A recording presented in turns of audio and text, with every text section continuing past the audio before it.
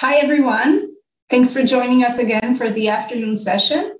Um, so we're going to be live on, on YouTube as well, uh, if you prefer to watch there. So we're going to have some exciting talks this afternoon, and starting, uh, Henry will tell us about Prio. So Henry is an assistant professor of E and CS at MIT. He did his PhD at Stanford with Dan Boneh, and then he moved on to be a postdoc at uh, EPFL. And his work has really influenced um, actual real life systems. So the work um, that he's, the systems that he designed with his co-authors um, are now in, in iOS and Android and, and Firefox and have also um, influenced standards, NIST standards and the IETF standards. So as I said today, he's going to tell us about Prio, which is a system to collect aggregate statistics in a privacy preserving way. So, Henry, you're up. Great. Thanks so much for the the invitation to speak here. I'm I'm uh, as I mentioned to Benny, I'm like so sad I wasn't able to be there in person. So I'm hoping that uh, that next year. I was actually so sad that I um I decided to make a hummus uh, dinner last night, which was uh, I, yeah. It, it, turns out uh, I'm a better computer scientist than I am a cook, uh, unfortunately. But good. Um, the other thing is I can't see any of you, so I hope I guess Rahul, I'm going to rely on you to uh, channel the emotions of the, the audience and laugh at all of my jokes as we go. Yeah, good. So I'm, uh, as more mentioned, I am going to talk a little bit about applications of some of the tools that you've seen already, but I'm going to take a pretty broad view of it. And I, the way I wanted to break down these two parts of the talk is in the first part, I'll cover um, sort of one of the interesting challenges that comes up in practice and that also has some kind of nice tools associated with it, which is how do you protect against misbehavior in applications of these FSS techniques that Ellen mentioned and also kind of secret sharing protocols based on secret sharing.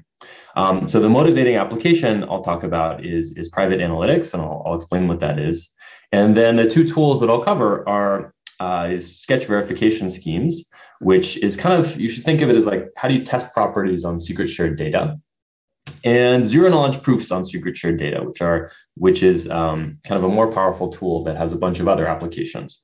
So in the first part, I'm going to give this kind of simple application, then in a couple of tools, and in the second part, um, I'll talk about you know uh, a wider array of applications. What privacy problems can we solve once we have these these tools built up?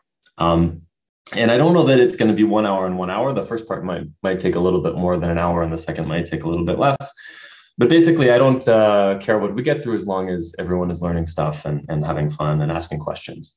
Um, and I, I, should say also that, that most of the work that I'll talk about, at least um, the new work, is with uh, Dan Boneh, Elette Boyle, Niv Gilboa, and Yuval Ishai. And then I'll mention related work as I go along. Um, but please forgive me if I omit some. Um, I'll do my best to, to cover all the citations.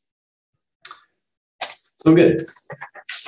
Um, and I guess I, I, should say the other reason um, I don't usually present with a whiteboard like this, but because this is a, a supposed to be a winter school, I thought I'd take a more uh, uh, a less traditional approach to doing this. So I hope it I hope it works and that you can read my my messy handwriting. So good. Uh, so let me talk about one application um, of the tools that uh, that we'll see later today.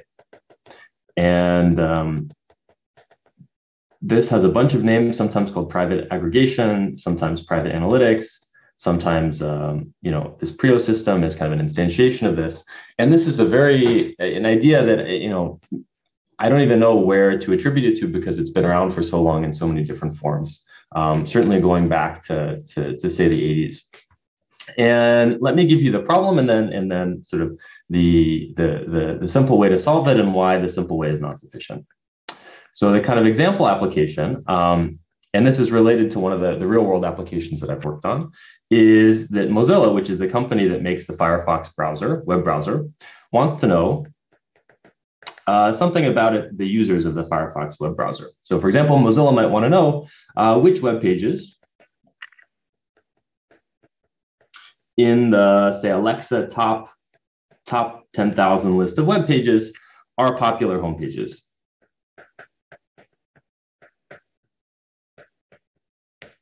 Um, so for example, they might want to know this because they might want to optimize the browser to work better on the popular home pages. They might want to know, uh, you know, demographic information about their users, what their users like and dislike. There's a bunch of reasons why they might want to answer this question. so the way this would work uh, with sort of a non-private scheme uh, is it's called as non-private analytics is that you have a bunch of users there's say uh, you know probably tens of millions or hundreds of millions of firefox users and mozilla runs some data collection service and everyone just sends their homepage to mozilla so your browser phones home periodically and sends back to mozilla um, what your current homepage is for at the moment. So maybe this is Alice, and Alice's homepage is uh, nytimes.com, and this is Bob, and Bob's homepage is cnn.com, and so on. So you know, from a privacy perspective, this is problematic because obviously, you know, Mozilla now is a single point of, of privacy failure, right? So the data can get stolen in a data breach, you know, uh, data breach, or maybe I don't know what what what else could happen. There could be some kind of mass surveillance program that convinces Mozilla to turn over the data, or Mozilla could decide to resell it. You know, so this is uh, surveillance, uh, resale. You know, use your data in a way that you didn't want. So, so the basic problem here uh, with this kind of setup, the non-private setup, is that uh, you know Mozilla learns more than it needed. It, in particular, it learns everyone's homepage uh, homepage. Right? When they just wanted this aggregate statistic, they just wanted to know which homepages are popular homepages, but instead they learned a lot more information than, the, than was strictly necessary. So the goal of these kinds of private analytic systems is to allow a company like Mozilla to compute the aggregate statistics of interest without kind of learning any individual users uh, private data. Yeah, because if you think about the function that Mozilla is trying to compute, they don't actually need to learn Alice or Bob's homepage to to um, to compute the statistic necessarily. Maybe with a more uh, clever protocol, we could do this um, without this privacy failure. Okay, are there any questions on the, the setup so far? Okay, um, cool. Okay, so this is just one use case. Um, and please, please, please ask questions if things are unclear. I hope that you do as we go along. So, so um, let me just mention some of the use cases for these kinds of, of tools. So I mentioned that Mozilla um, is interested in um, browser telemetry data. This is actually sort of a pilot program using, using this, the tools I'll describe is in use today. Um, Apple and Google uh, Google are using it for measuring um, the effectiveness of the um, exposure notification apps for uh, COVID-19.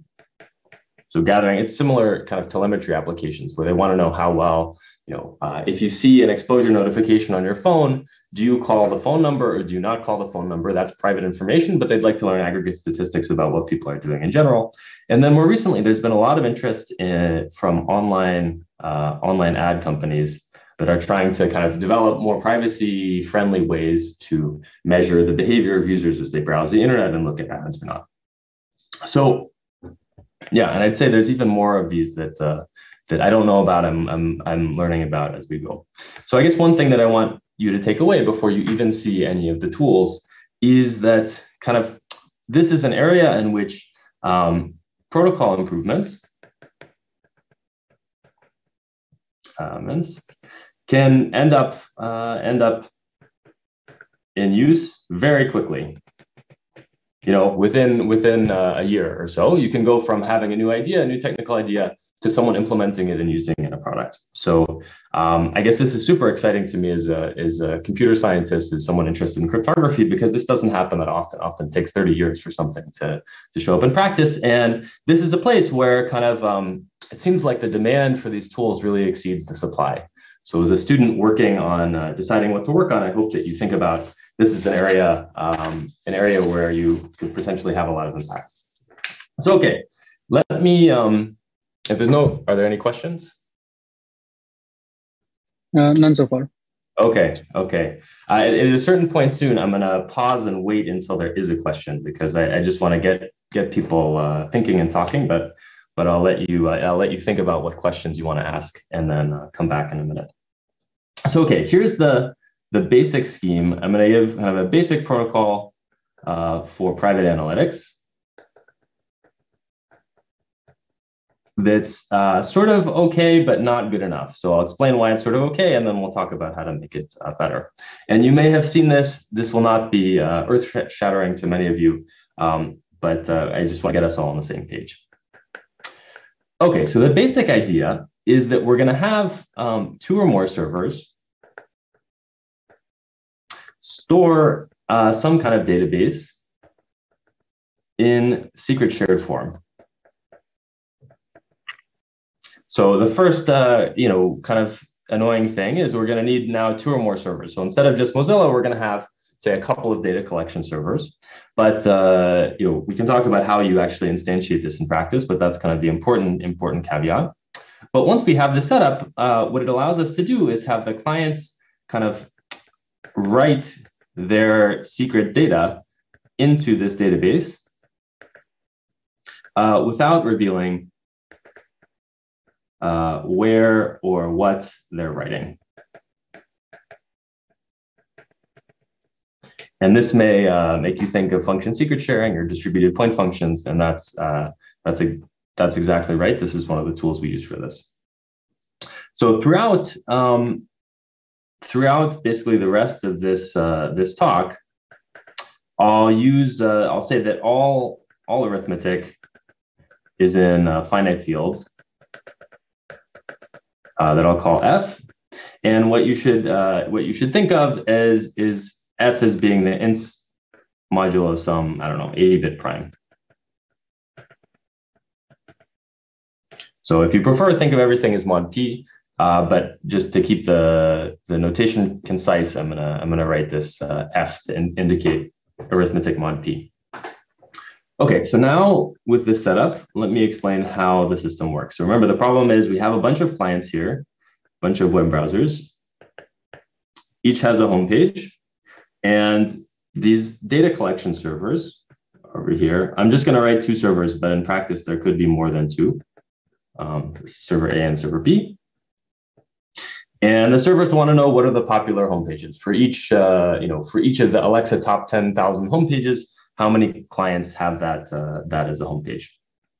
So the way this is going to work is that each of these servers holds, uh, sort of starts out at the beginning of the day with a big vector of integers initialized to all zeros.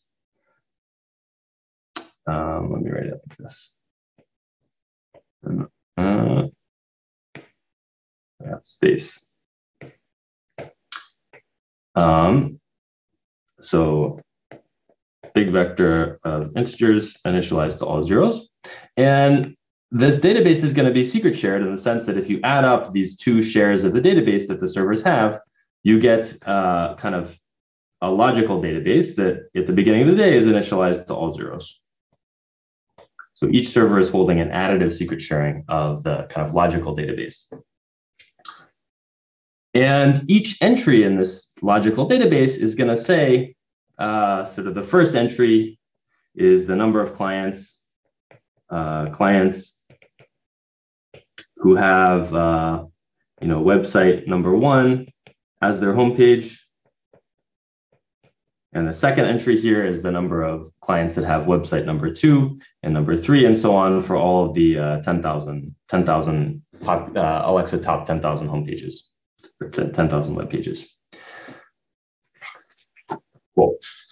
So then, uh, given this setup, the clients can send kind of secret shared database updates to write or update the state of this database without revealing anything to the servers about where their update is happening. So in particular, say this first client here has, uh, you know, the second homepage is uh, is his. So so say this first one corresponds to I don't know, It over here say this corresponds to, uh, you know, the New York Times being your homepage, and this one corresponds to CNN being your homepage. And this client has CNN as his homepage. So what this client will do is take this big vector, split it into uh, two secret shares. So split it into two, two vectors that are each individually going to look random. So this is going to look like, I don't know, whatever, uh, random numbers and uh, random numbers here, such that when you add up these two things, they're equal to, to the client's uh, original vector. And then the client's going to send one of these shares to each of the two servers. So it'll send this share to server A and this share to server B. And what the server is going to do is just going to add the client share into its this kind of accumulator that it has running. So it's going to add, you know, now the state after this update will be whatever it is. And the server, second server will do the same thing. So, and once this happens, you'll see that the kind of logical state of the database is still all zeros, except there's a one in the in the position of the um, the the kind of client's update. So if this client had a one in the second, uh, the second index in its vector, then this logical database state now has a one in it. And the rest of the clients can do this over the course of the rest of the day. And as each client kind of makes an update, this logical database will have, you know, I don't know, the numbers here will increase, and and um, and eventually this secret shared vector down here, logical database state will incorporate the home pages of all the clients. So uh, this is kind of almost all the way there. So what happens? Um, what happens next? Kind of the last step is let me erase this stuff. So the last step is that the servers at the end of the day um, basically publish the contents of these their accumulators, and by adding up these um, their two accumulators, they can reconstruct kind of the state of the database and the aggregate statistics that they wanted. So whatever whatever it would be. So I'm going to pause for questions in one second, but before we do that, let me just uh, kind of summarize what we have so far. So, so this simple, simple private analytics scheme. So, so far. So what did this simple scheme do? So, so I guess the first property that I want you to observe is that uh, the simple scheme is actually is actually simple. Simple in the sense that it's easy to implement right? There was no fancy crypto happening here at all. There's no, you know, barely any crypto going on at all. It's just uh, additions and subtractions, a very, very small number of them, and it's concretely efficient. So that's good. Eh, as long as, say, the number of websites is not too big. So I said the Alexa top 10,000, not the Alexa top billion websites. So as long as these numbers are not huge, things are okay. The second property is it's actually correct in the sense that the, the servers get the right answer. So the servers actually, um, if everyone does the right thing, so the clients do the right thing, the servers do the right thing, everybody follows the protocol, the servers get exactly um, the aggregate uh, statistics uh, that they want. So they learn exactly how many clients had CNN.com as their homepage. And the last property, which is kind of the whole the whole point of this uh, system, is it uh, satisfies this uh, useful privacy notion, which is that a malicious server, if one of the two servers is malicious, it uh, learns nothing uh, in, a, in a specific sense about uh, the, any client's data, data or the client's, you know, in this case, the data is the client's homepage. Apart from what it can infer,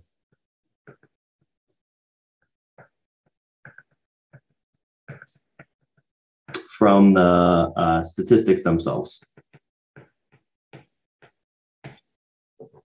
So, so what I mean uh, in, in, a little bit, um, a little bit more precision is that kind of, a, you know, for all inputs, if we think of the, the client's inputs as being X1 up to um, XC, so there's C clients. And for all uh, adversaries that control, say, one of the two servers, there is a simulator that's, that's um, such that when you run the simulator on, and there's like public parameters of the system that I'm, that I'm skipping, but basically the view um, of, say, one of the two servers, view of server A in this execution uh, with uh, client inputs x1 up to xc is uh, looks the same as the simulator when it's given um, only the aggregate statistic of interest, where here this, this aggregate statistic would be kind of the you know number of clients that had each of the home pages. So already, even though we haven't really done much work, this is a seems like a useful private aggregation scheme. So let me pause for questions here. Can I get get one? Yeah, there are a couple of questions. Great. The first one is um, the goal here sounds very similar to the goal of differential privacy. So, is there any uh, performance reason or you know some other reason uh, to use this approach instead of uh, differential privacy?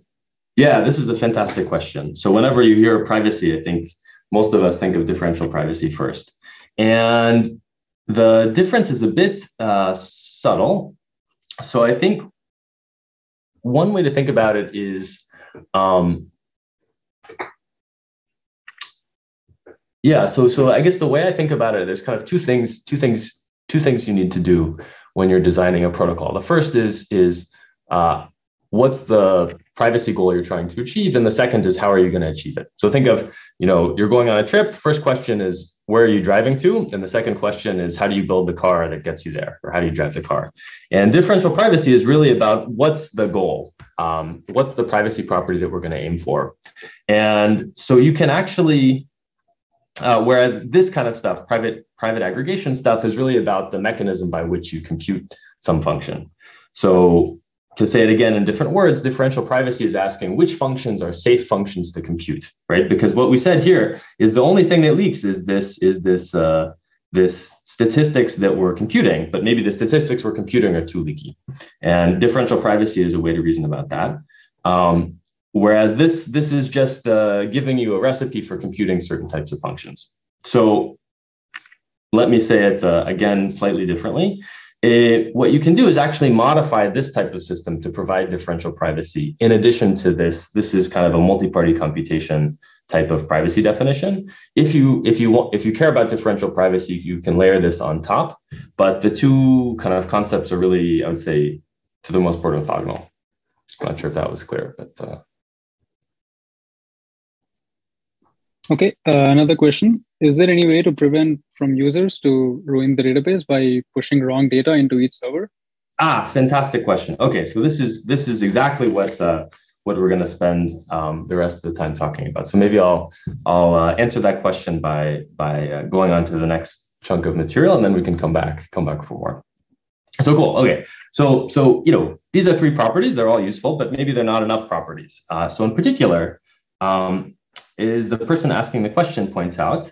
It, so one malicious client uh, client can completely corrupt uh, the computation. Yeah, so let's see, let's see how that works, right? Um, we have these uh, clients here. You know, millions of clients, and say one of them is, is adversarial. So what the client was supposed to do is it has, we have these two servers, server B, and the client was supposed to send a secret sharing of a vector that's kind of uh, zero everywhere except a one in, in a single location. But a client could do something malicious, like it could send a, you know, a zero everywhere except 15 in a particular location. It splits its vector into secret shares and sends one of these shares to each of the servers. The servers have this, uh, this database state that they're holding. This, uh, this kind of malformed request here that the client sent, it looks, you know, by the property of the secret sharing scheme, looks fine to the servers. There's no way for the servers to tell that this kind of attack is in progress. But when the servers kind of update their database state, um, what's going to happen is that the logical database is going to get incremented by uh, 15 instead of by one. Yeah. So one malicious client can cause kind of uh, undue influence, uh, influence uh, on the output. And in particular, it can get much worse than this, right? The client can can uh, put uh, you know a million in here, or it could even put negative a million, or it could put uh, random garbage in all of these entries, right? And what basically whatever the client does here is going to show up down here. So so one client can really destroy the um, the computation. And even worse than that is if you follow through what's going on here. At the end of the day, the servers don't actually know who to blame. um, because the privacy of the, the scheme actually protects the, the privacy of the adversarial clients as well. So um, in the kind of the rest of this hour, uh, this hour, and um, I might actually steal a little bit for myself from the next hour. We're going to talk about how to defend um, defend against uh, malicious clients in in in this type of setting. And you know, uh, I should be a little bit more precise, but uh, let me let me put an asterisk here uh, by saying that the real goal is to do this without paying too much. Um, too much. Because if you've learned about, say, multi-party computation, secure multi-party computation, or other, you know, zero knowledge proofs, other techniques, it turns out that if you don't care about efficiency, you can do basically anything you want. Uh, but if you actually want to deploy these systems at scale, you have to care a lot about the concrete efficiency. So the tools that I'm going to talk about today are based are all about defending against malicious clients without paying too much for it. Um, so uh, I'll give a couple examples of this. I guess the one thing I want to say um, is that that once you start talking about uh, malicious security, everything gets messy. So um, everything gets messy, everything gets complicated, everything gets difficult, right? So, so in particular, let me try to convince you that this is true. So, so we've already talked about kind of, um, I guess the security properties we're looking at here were kind of if everyone does the right thing, then everyone gets the right answer. And the privacy property was saying if one of the servers is kind of following the protocol, but um, I guess I, I, mentioned malicious here, but say semi-honest security. So one of one of the servers, uh, the adversary corrupts one of the servers, but does the right thing. It doesn't learn too much information. When you're talking about malicious security, you have to answer a lot more questions, right? So, so um, uh, are you worried about um, so malicious clients only, or malicious clients and servers, or just servers? And how are you defining an attack? So do you care about uh, uh, clients? You know, I talked about clients corrupting the output. But do you care about servers corrupting the output? Or maybe you only care about servers breaking uh, servers breaking privacy. You don't care about servers corrupting the output. Or you know there's basically a bunch of different flavors of malicious security that you can look at. Um, today just to keep our discussion kind of constrained i'm going to look at i would say kind of the simplest one which is the servers are doing the right thing and the client is is trying to mess up the output. But um, in some of the papers i'll mention there's different flavors of malicious security that pop up and uh, different tools are needed to, to address each of those um, i will say that sort of a usually when there's a bug in uh, one of one of the things I've done, it's usually relating to malicious security. So I'd say for me, at least, this is the most subtle subtle piece of uh, what's going on here. So okay, maybe I'll pause here for questions again, um, just to see if there's anything else.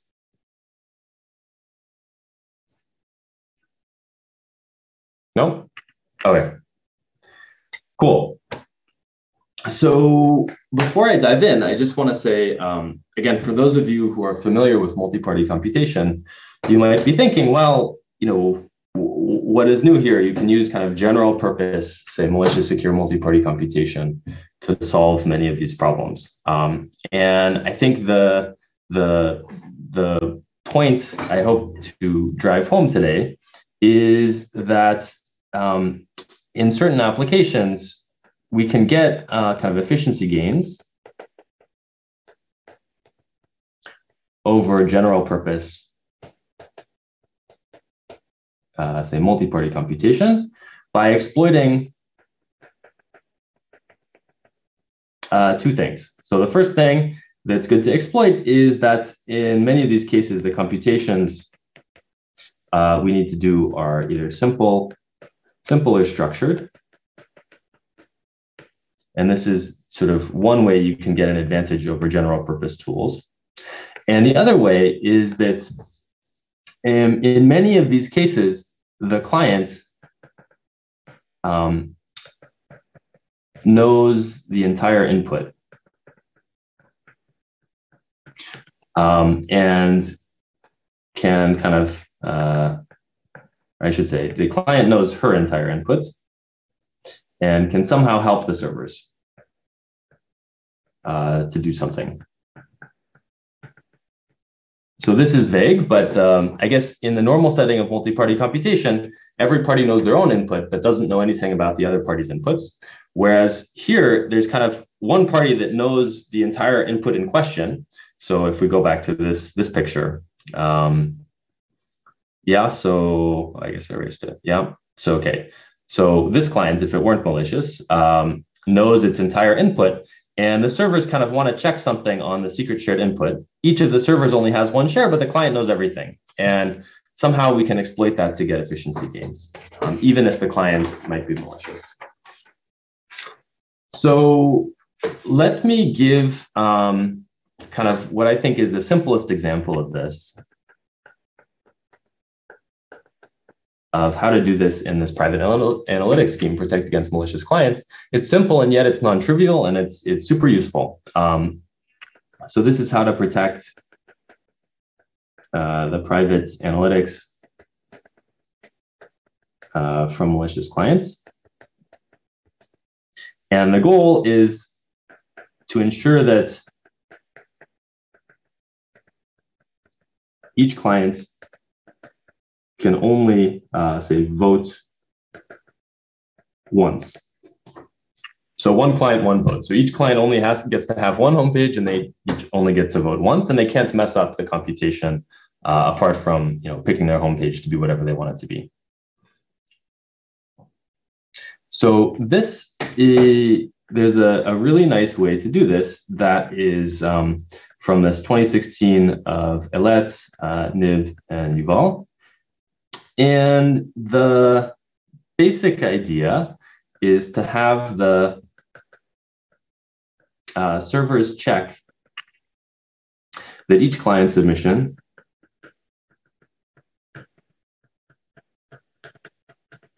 is well formed uh, before accepting it. And if not, just, uh, you know, if not, just ignore. So if a client tries to mess up the computation, just ignore whatever the client says. So let me kind of try to say this in a little bit more detail. So the honest clients uh, send shares, send secret sharings of a vector. So call this shares XA and XB for servers XA and X, uh, servers A and B. And these are vectors of dimension n, uh, whose sum, so XA plus XB, is uh, an all zero vector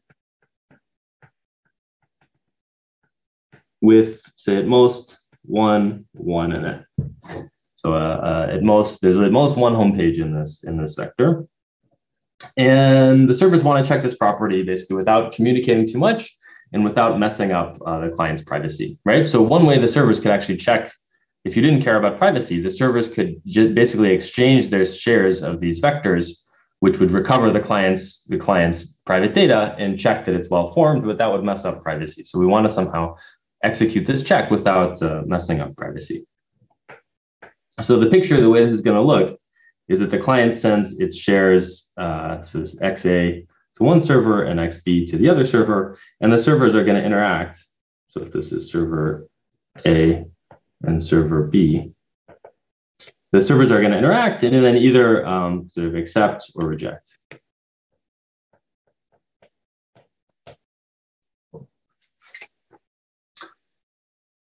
Cool. Any questions about this uh, so far? Any more?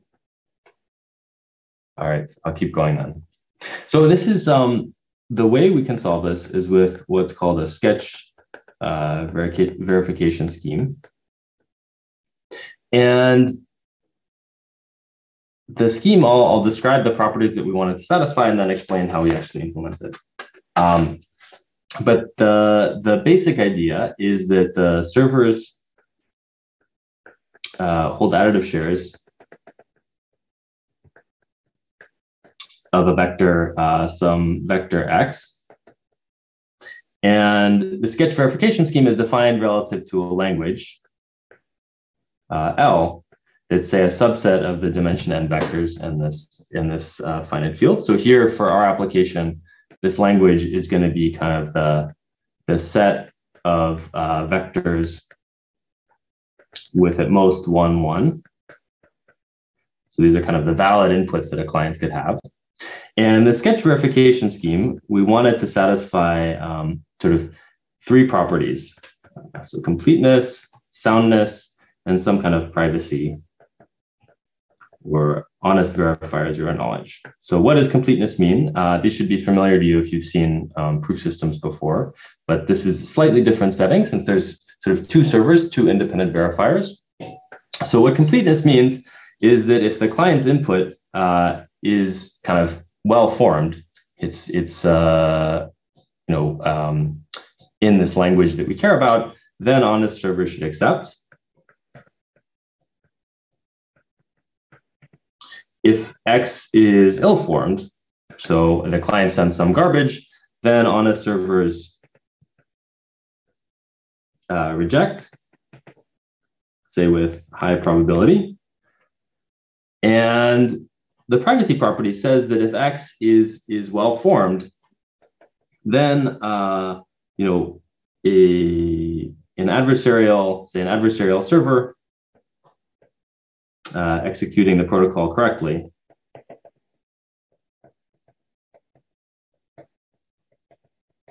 you know learns nothing about X learns nothing about X except uh, you know that X is in the language. And uh, I don't think well okay. Uh, so basically what you what what the the the the way you define this formally is to say that there's um, a, you know exists a simulator such that for all inputs that are in the language, the view of the um, the view of the adversarial server on the inputs, um, you know, XA and XB uh, can be simulated without access to the input itself. So what this is saying is that if you run, you know, you run this protocol, the adversary only can see the see into the brain of one of these servers. The adversary doesn't learn anything about X, the client's input, apart from the fact that it's it's well formed. Um, so cool. So that's the that's the kind of the syntax of what we're trying to do. Um, let me now explain how how you actually do it. So let me give this this protocol, and this is this BGI 16 one.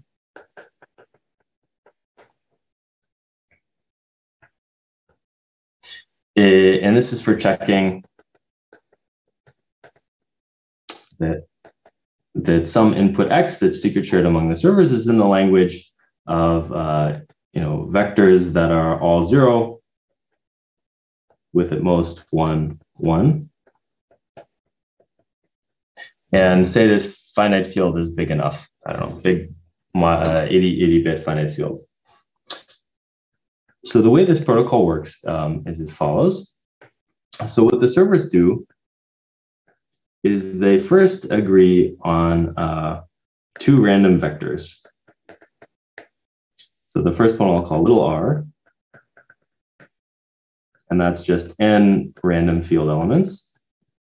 And the second one I'll call big R, which is just each element of little r uh, squared, kind of component-wise. So the servers could agree on these. In practice, they would say agree on a, a PRG seed and then use the seed to generate a bunch of randomness. Um, but it doesn't really matter how the servers derive these random values. That's step one.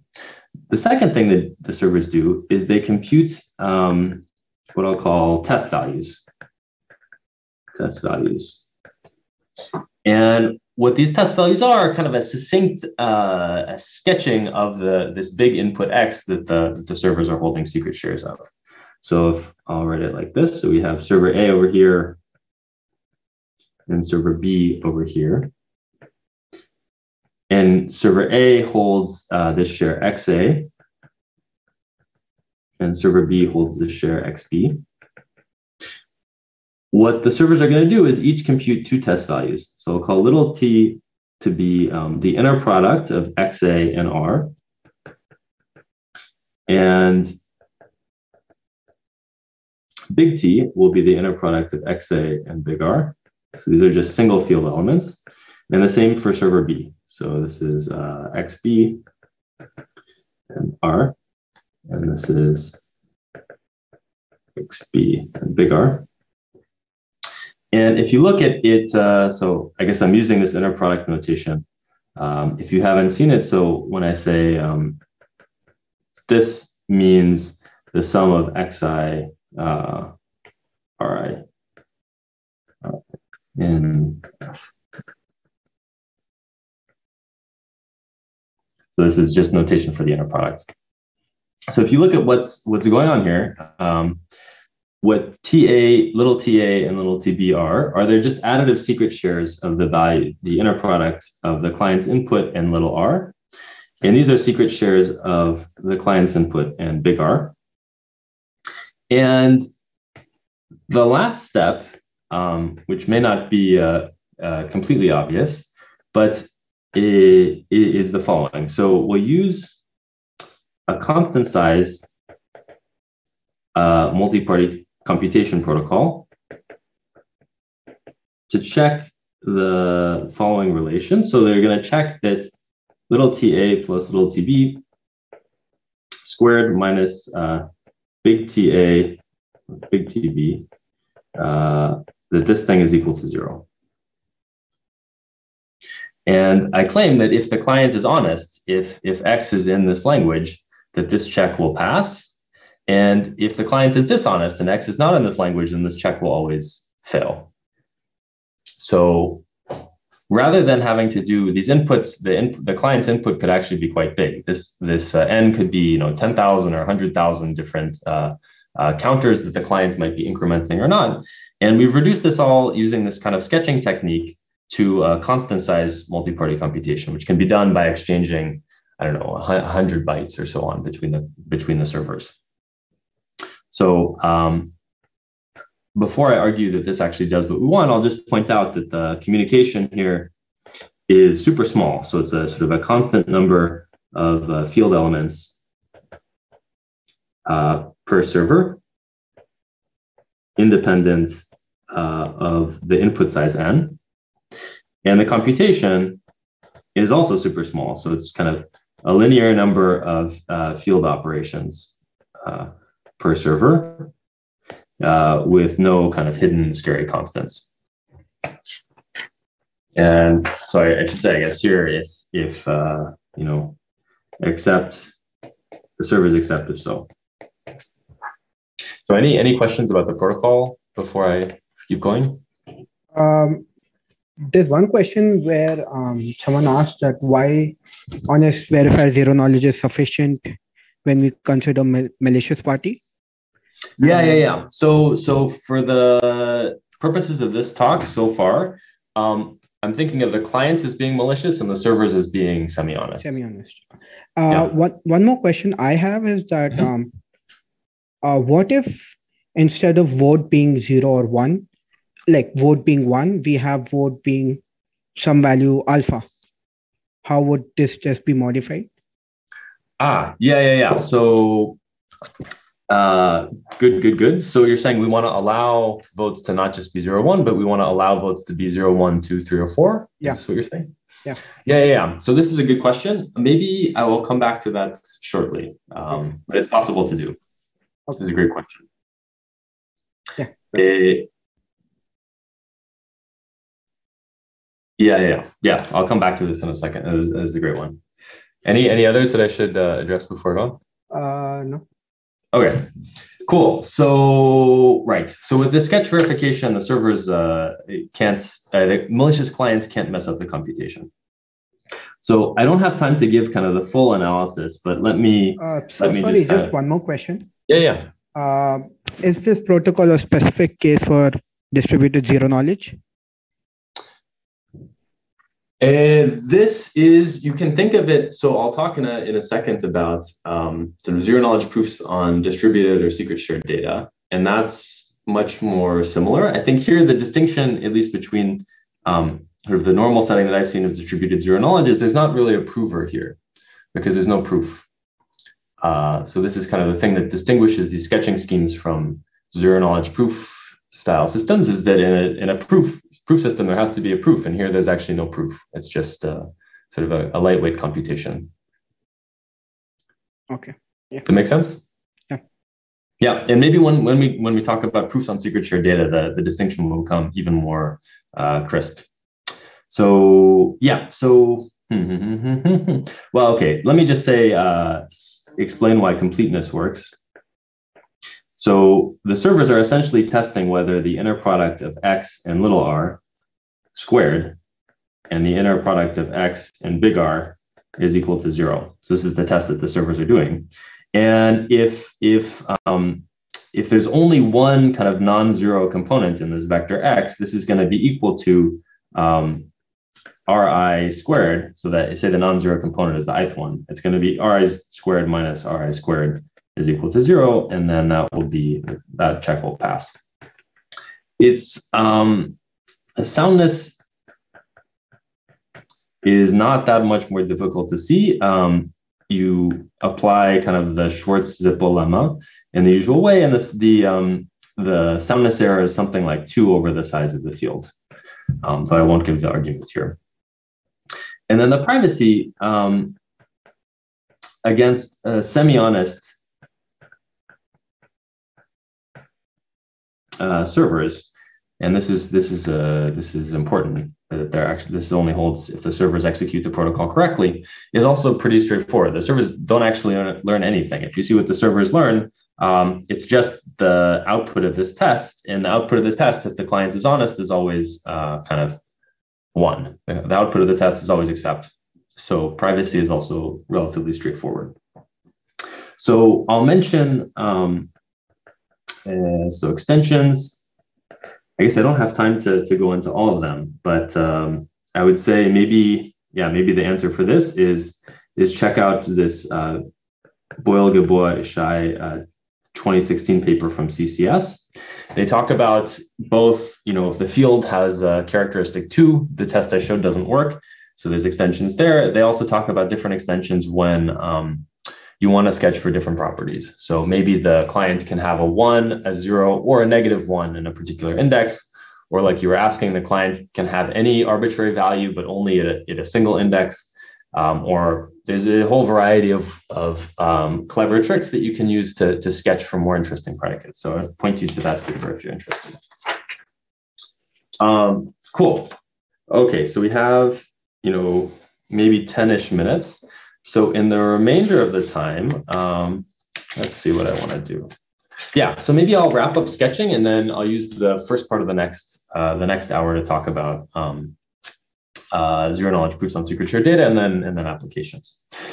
So okay, so um, one thing that I want you to be wary of um, in this protocol and when you're thinking about your own systems that you're building um, are these things called uh, selective failure attacks.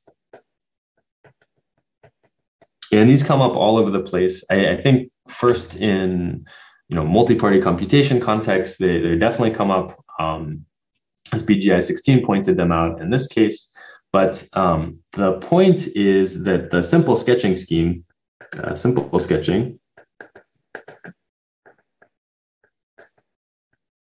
uh, does not protect uh, client privacy against a malicious server.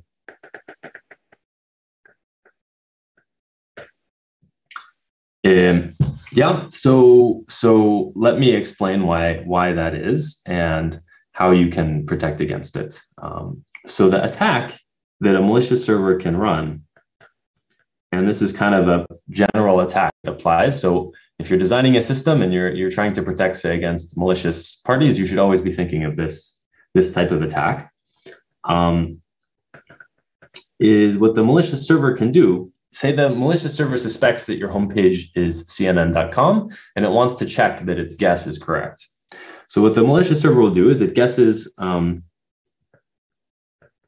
guesses the location of the you know client's uh, non-zero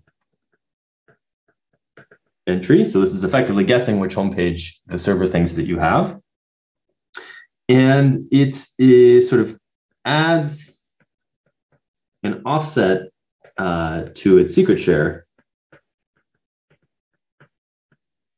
uh, that kind of shifts the non-zero uh, zero entry somewhere else. So let me draw a picture. So this is the client.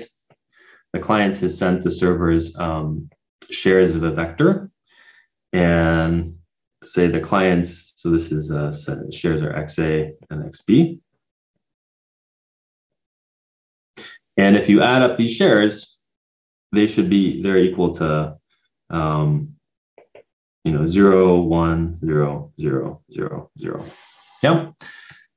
So if this server is malicious, this is a server, say server A is malicious, what it can do is it can it can add some offset to its secret share. So now it's working with XA plus delta, and the offset it's going to add is kind of negative one and then a one somewhere else. So what this is going to do to the effective uh, value of this this secret share is it's going to make it you know look like that. So that's happened. So this is if if you're if the guess is correct, uh, this is what's going to happen. If the guess is incorrect, something else is going to happen. So say your homepage was actually here. Now, once the server shifted the shares, it's going to look like this, something like this. So this is guess incorrect. Yeah. So the server shifts the, the location of the non-zero uh, entry according to its guess, and then it just runs the rest of the protocol. Uh, the sketching scheme honestly. Yeah, so what's going to happen is if the server's guess is correct, then the protocol will actually accept and the server will know that it guessed correctly. It'll know that your homepage is cnn.com. If the server's guess is incorrect, then the sketching protocol will reject and, and is going to say, oh, but this client's input's ill-formed. And then the server will know that your homepage is not cnn.com. So, you know, this is only one bit of leakage, but it's kind of an important bit right? Depending on what, uh, in many applications, one bit of leakage is enough to uh, uh, cause serious problems. And of course, over time, you can turn one bit of leakage into as many bits of leakage as you want. So this is, I guess, something something to to be careful of when you're designing these type of protocols. You know, you need to make them simple, but then not too simple.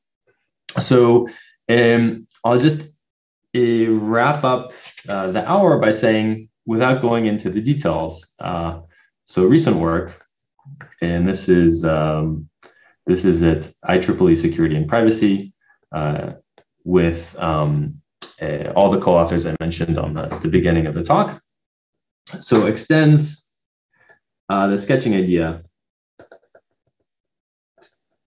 uh, to provide malicious security, like security against uh, malicious servers.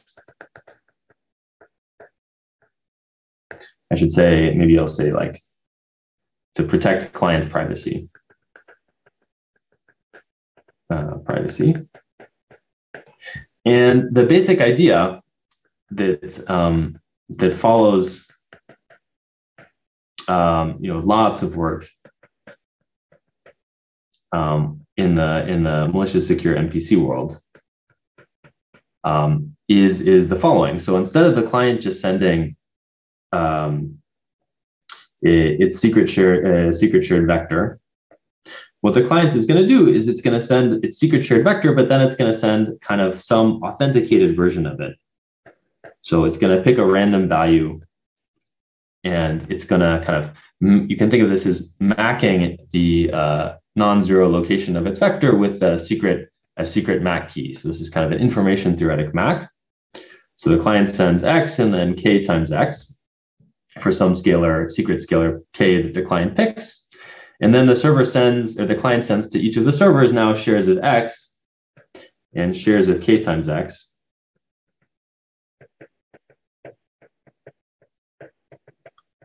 And then there's some more complicated sketching protocol that the servers run um, that kind of simultaneously checks that the client's input is well formed and that this MAC is computed correctly.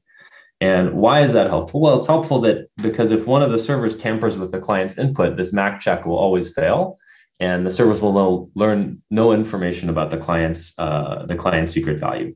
So, so I'm not going to be able to go into all the details on this. I'll just say, you know, see the paper, see the paper for the details. And um, I guess just keep in mind that you should be super careful about, uh, you know, who, who um, malicious security if you're if you're using these types of systems. So okay, let me pause and take a couple of questions, and then we can we can go to the break. Any any remaining ones?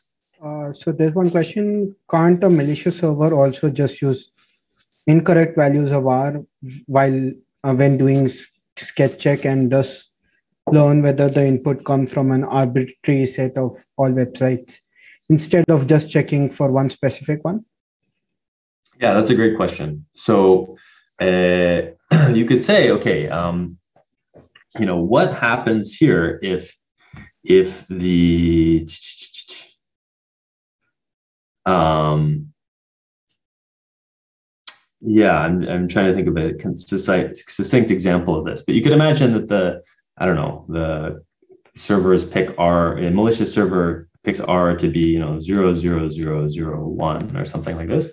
Um, some funny, funny value like this, it's not actually random. And then maybe you worry that there's some privacy problem that pops out at the end. Um, so the reason why that's not a problem, okay, so first is you need to come up with some means by which the servers agree on these random vectors, and these vectors better be random. Um, but that's actually a, a, the randomness of the vectors is actually only important uh, for soundness because basically each each um, see the best way to say this, but basically the honest server and the malicious server are going to be computing the same function of the um, this this client secret shared data, and tampering with the randomness here because of this check at the end it, because this check at the end is done in a kind of multi-party computation is not going to let the, the, the, servers learn anything about the client's um, uh, the, the client's private data apart from kind of whether it's valid or not. Uh, not sure that was terribly convincing, but um, yeah, I think I think the thing to do is if you actually walk through the security analysis, you'll see that that, that kind of attack is not going to be helpful. Okay.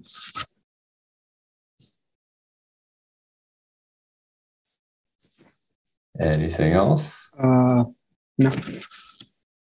Cool.